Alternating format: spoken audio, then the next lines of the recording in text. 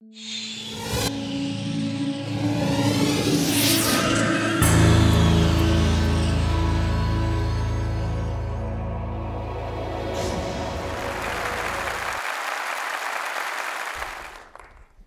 everyone.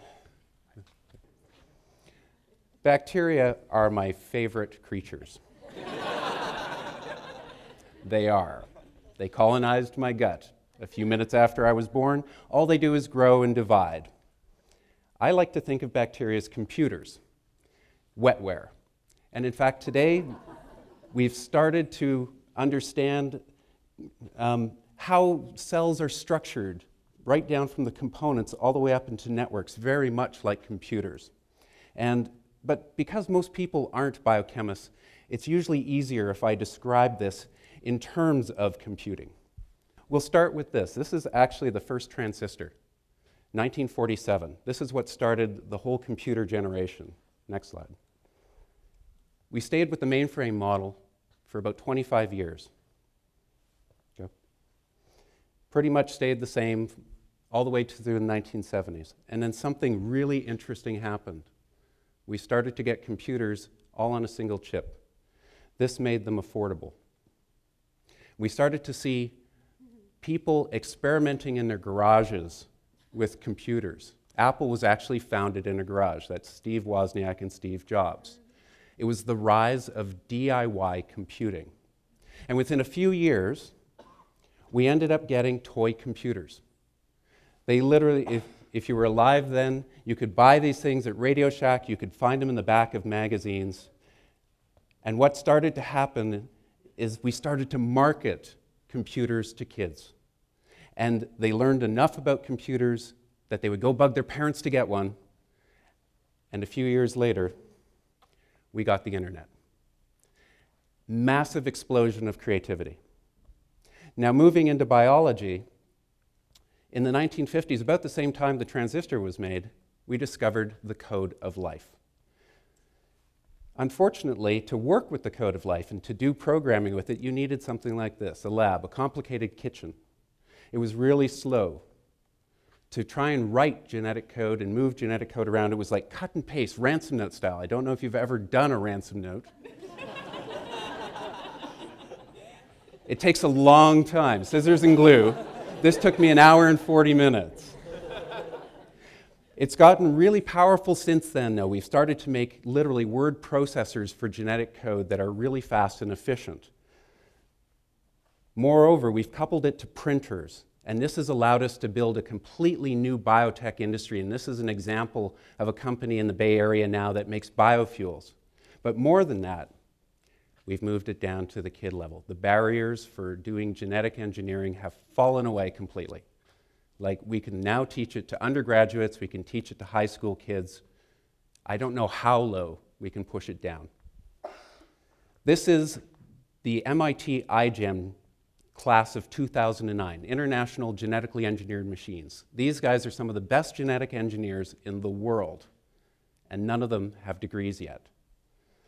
We had over 1,200 students from 25 countries. And they did projects like moving a couple of genes from red wine into yeast that made resveratrol so that we had cancer fighting beer. We also ended up with a whole new set. Yeah. The winning team last year made a whole new array of different marker proteins that could be expressed so you could actually track a metabolic pathway as it turned on. And the local team here from Edmonton, pictured here, made a microfluidic device to allow gene constructs or even genome constructs to be done faster and easier. They won the foundational prize for new technology. It was amazing. And they even used Lego robots to make these gene assemblies. So, this is toy biotechnology, but it's powerful. And in fact, it's making the very cover of some of the most powerful journals in the world, and in fact has been instantiated in something called a biofab at Stanford, which just opened up in January. And this is actually a design, build, test facility using the exact same tools and parts that the students have made, except now it's opening up to academia and other groups. This is revolutionary. We've never been able to do genetic engineering so fast, so cheap before. Moreover, people like this fellow, Mac Cowell, have taken it even out of the labs and out of the student arena and brought it into the mainstream with an organization called DIY Bio, Do It Yourself Biology. This is open source biology. And they're using all the tools of the internet and social web to do it. They're using comics to describe to people how to go and do some of these procedures. You can find videos on YouTube. In fact, there's whole channels now just on scientific stuff. They're hacking hardware. This is a very low cost PCR machine, a polymerase chain reaction machine for amplifying DNA. They're hacking gel boxes. This is at a, a, a meeting called Outlaw Biology in LA, which was actually really interesting because the FBI was there. they learn how to do DNA isolations and run home labs, and you find a level of passion in this community unlike any other. it's really, really uh, breathtaking to be part of this. So, what we're finding is that biology really is a new technology now for us to apply. And not just the elites, but really anyone that has an interest in this.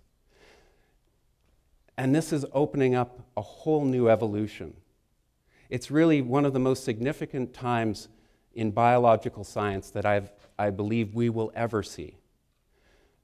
The Woods Hole guys go down to the bottom of the ocean floor and they find these things called black smokers. It's, there's no light down there, incredible pressures, Uh, and chemical gradients that are, would be absolutely toxic.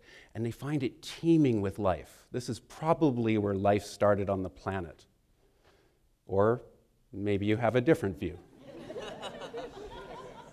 but we're starting to boot up synthetic life forms we're starting to be able to build small bacterial genomes, and these DNA printers get better every year with, with, at faster than Moore's Law rates. So we don't know how fast this parallel evolution is going to go or what we can make with it. All I know is there are millions of species on this planet and billions of bacteria and viruses, and they're all becoming tractable to designers, which means we have to start thinking a little more carefully about what we do and how we do it and creating the right culture of innovation for this. And this is what I wanted to kind of drill home. The culture of innovation in life science is going to be massive. And this province, most of its fortunes are based on things that are either alive or things that were once alive and are now buried underground. It's opening up in new ways, though. We also have robotics coming to this. This is a company that makes printers that print cells one day we're going to be able to print new hearts. This is a friend of mine, Zach, in New York, who makes 3D printers as well. They cost $1,000. The other one costs $250,000.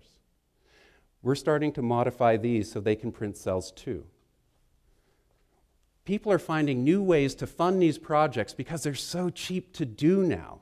This is something called Kickstarter, where you basically just put up a project and people pledge money for it. It's amazing. So, what type of a biological world are we going to get? Bamboo bicycles? Already out there. What type of pets are we going to get? it's going to get interesting. That's what's going to happen. Fortified foods. This is golden rice. It could actually, vitamin A is added, you know, we can literally cure blindness, you know, from vitamin deficiency if we can get this rice out into the world we probably need a new type of GMO standard that doesn't scare people.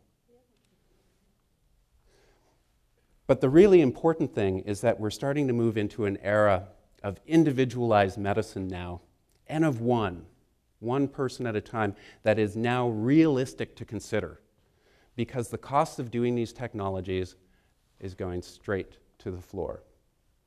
Already, I'm part of a group in, in San Francisco called Quantified Self and all they they're kind of narcissistic but what they really all they want to do is measure their lives in different ways we have these computers in our pockets now that can record so many different capacities we can have we can have devices like this that are little accelerometers that literally track how much you walk each day how much you're sleeping how vigorous the exercise is and chart it all For, 90, for a few hundred dollars, you can go and get your genome sampled.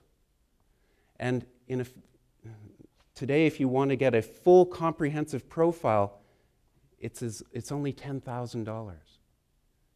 A decade ago, it was a billion dollars. That's a pretty steep drop in price. Moreover, we're starting to realize, and this is happening spontaneously in the social web, that we are all patients, individual. And so this group, started by a friend of mine, Jamie Heywood, literally collects patient experiences one on one. It's kind of a Facebook for medicine. And people are actually, this is a real time clinical trial. And they know what's happening with people the minute uh, it happens, as soon as it's recorded. So, one of the low hanging fruits in all of this personalized medicine is cancer. Take a look to your left at the person sitting beside you. Take a look to the person on your right. Look down at yourself. One of you is going to get cancer in your lifetime. Right now, our diagnostic capabilities are going straight through the roof, and our treatments are all the same. Nuke it from orbit surgery, chemotherapy. We have to be able to get more precise treatments. Right now, the researchers are focusing on understanding cancer, but what we're learning is every cancer is different. It's like, how do you understand the stars by looking up at the night sky? At some point, we have to start learning how to focus our therapies. We had penicillin in the 1930s, it was the wonder drug we didn't have to understand how it worked. We didn't have to understand bacteria. It just killed the right cells selectively. Now, we can't do that with chemicals. Chemicals are too stupid, they're toasters. We need something smarter that can differentiate between a cancer cell's DNA and a normal cell's DNA. Now, drug companies, they work on a different dynamic. First of all, they don't make drugs for one person, they'd have to sell it for several billion dollars. And they try and satisfy a lot of different stakeholders in the process. That's why they shoot for blockbusters. It's like making a blockbuster movie. You try and get a, everyone in the cinema. It's, it's that head of the long tail that Tim told you about. And sometimes it works and sometimes it doesn't, but it's always expensive to make. It's slow, and in fact, it's so slow now, it takes 10 to 15 years to bring a new drug to market to get it through all these hoops, and billions of dollars. So if you're expecting a cancer breakthrough tomorrow, it ain't going to come. It's not in the pipe yet. In fact, the stuff coming out of the pipe only went in before there was a genome sequence. So these companies are really dinosaurs. They're dying. Right now, they're just mating. It's called merger and acquisition. and it's leaving people like Krista, you know, scarred for life. So, I used to work for these big drug companies. They're not bad people, they're just stuck with a really bad system. So I thought, how do we go and change that? And the only thing I could figure out is we have to do it ourselves. We have to be able to build our own system. Right now, we have all these researchers that do amazing work understanding cancer, and they have no path to the clinic except through about 30 global pharmaceutical companies that don't share their values. So I created a little company here in Edmonton. It's the coolest company in the world when it comes to cancer because it's a co op, it's people helping themselves. We use those same technologies that I told you about, which are getting cheaper every year. This is the plan. Right now, we're just going out and getting members because every day that we wait, these technologies get cheaper and more powerful, and every member we add brings passion, a voice, a skill set. I own one share. Like Mountain Equipment Co op, you buy one share and that's it. You become a member. Let me just walk you through this in a couple of minutes. This is a system that we can do today. There is no technological barrier for someone walking up and getting analyzed with some of the most powerful genomic tools in the world. Full sequencing of their DNA, which will cost as little as $100 three years from now.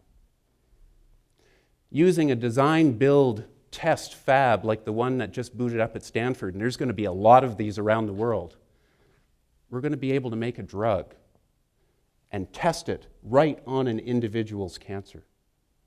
Now, we won't know if it'll work on every cancer because we're not going to ever do a clinical trial on that. We're just going to be able to hand that person a tube with a therapeutic that's been made with these same genetic technologies and proven to work on their cancer and their cancer alone, and they can do what they want with it. We're not going to sell it to them. It's open source. We're not going to profit from it. We, all the data that we collect will just go into the system for designing the next one. It's totally transparent.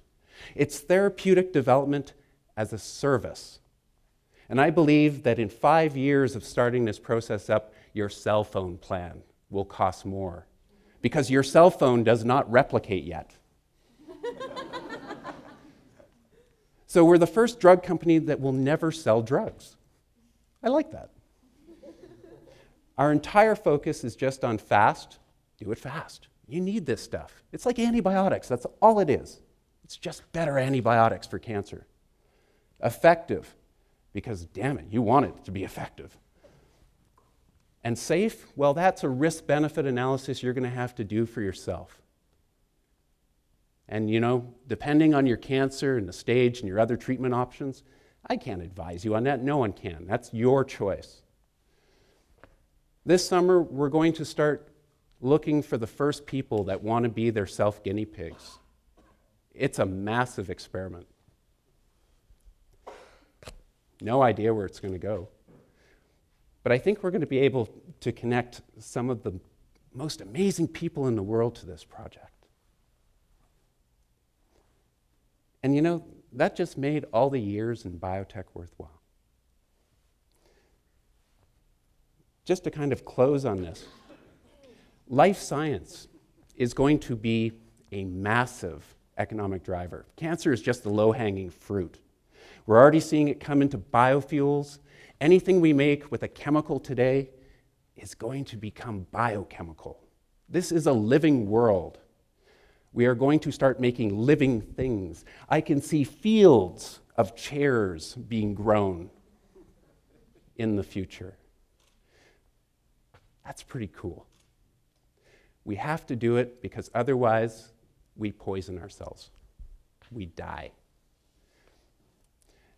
All this carbon economy, when you grow something, it fixes carbon from the air and it puts it into a solid form, like a chair. As we start to move to biomanufacturing, the CO2 problem goes away. The world gets a lot greener. And we don't have scarcity because you just plant it. But this is going to be a grassroots movement. We're not going to be able to do this top down. We have to focus on community. And with that, I'll thank the co op members that I currently have. Hopefully, we'll get some more. And the organizations that are making personal genomics and this technology of synthetic genomics real and possible. Thank you.